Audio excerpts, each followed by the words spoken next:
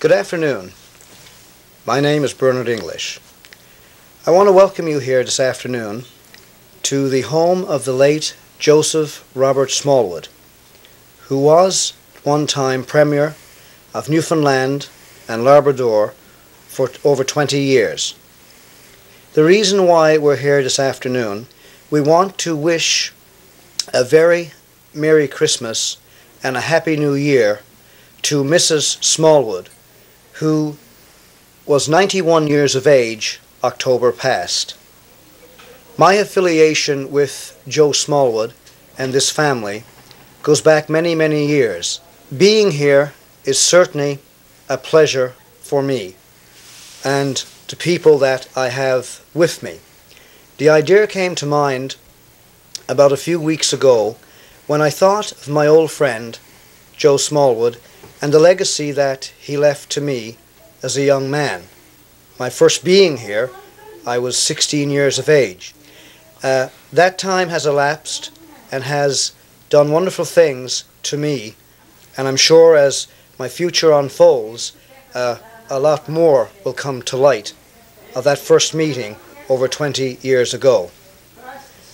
I would like now to introduce you to Bill Smallwood, the son of Mr. and Mrs. Smallwood, and the lady who, for many years, and to Newfoundlanders and Labradorians, was not probably publicized as much.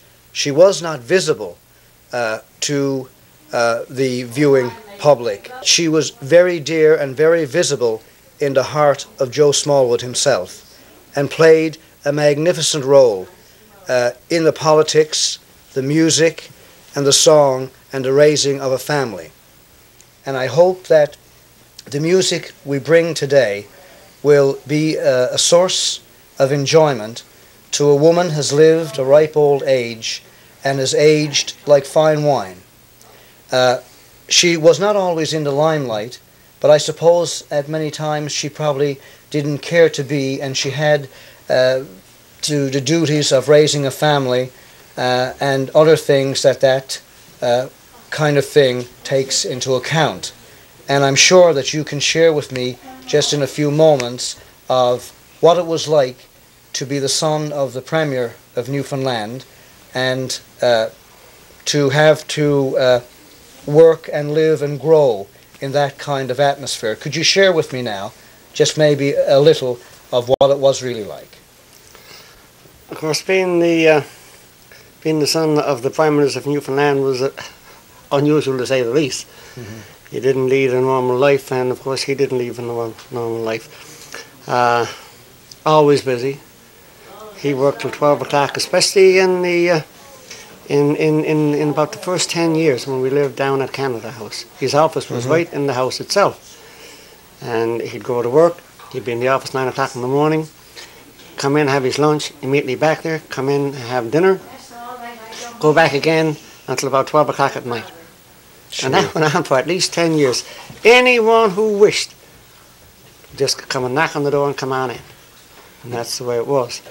Now, as for you coming here today, it's really our pleasure because the last time you were here, of course, wasn't last year when my father died just before Christmas, but in 1990, mm-hmm. we all had a glorious time with the group you brought. Yeah, we had a grand time we, for we sure. really did, and my father enjoyed it, and really sorry, you know, when it finished. Mm-hmm. And I know I kept, we kept waiting for an extra half hour because my father loved the music so much and my mother.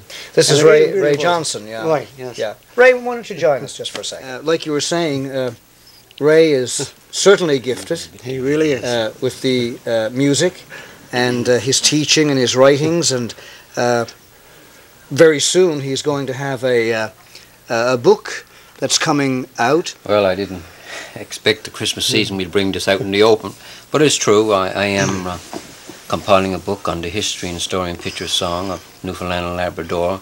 And I think those topics, those sections speak for themselves and uh, hopefully when uh, it does come out, people will appreciate the thing I've done, not just from me, on my point of view, but to see themselves in this particular book or environment, if you will. Uh, I, I feel with a group like I'm part of now with Buddy Wasisname and the other fellas, uh, the part I do in the show, uh, the, the response for it is so great that I think now that I put it in, in book form, I think it's going to be appreciated more and more by the, the people of Newfoundland and Labrador. And I think, Raymond, looking at what you've, uh, listening to what you've just said, the young man sitting next to you, which you uh, just earlier uh, had introduced me to, maybe you should tell me uh, or tell us a little bit of, of how you met this young man and what he's, he's doing. Okay. That, that's caught your eye, your interest.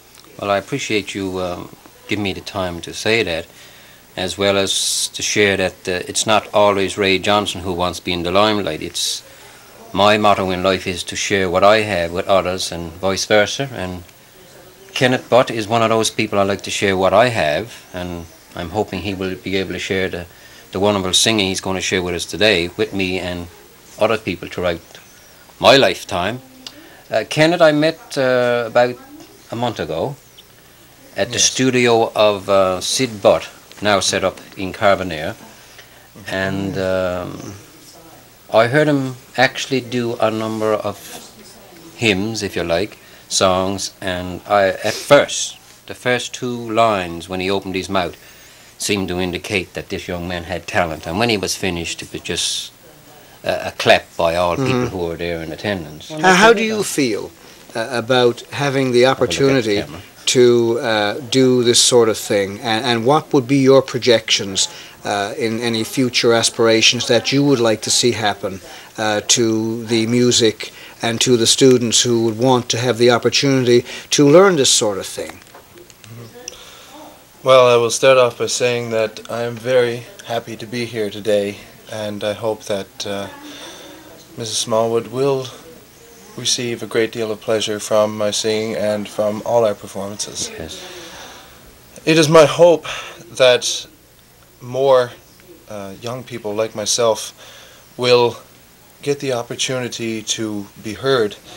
Um, it's great that we are acknowledged as musicians in our own communities and that, but we really need to go beyond our own communities to bring our music our gift to other communities, to other people. And certainly, even in our being here today, we are bringing our gifts to other people. I think that was very well put, and I'm sure that it uh, even goes without saying that you, uh, we wish you that. We wish that this will certainly materialize and that uh, the people who uh, may have the chance to view this uh, will certainly share in those aspirations. I want to thank you, Kenneth, for coming along. Thank you very and, much. And uh, accepting our invitation. And of course, I want to thank Ray. Thank you, And I want to thank Bill for inviting us into his home today. And I believe now it's time that we pay tribute to Clara Smallwood, the lady behind the man who brought this province of the last living father into confederation and this is our gift to her and her family and to our viewers that you may now sit down, relax, and enjoy. It is our gift wishing one and all a very Merry Christmas and a Happy New Year. And join us now in a tribute to Mrs. Smallwood.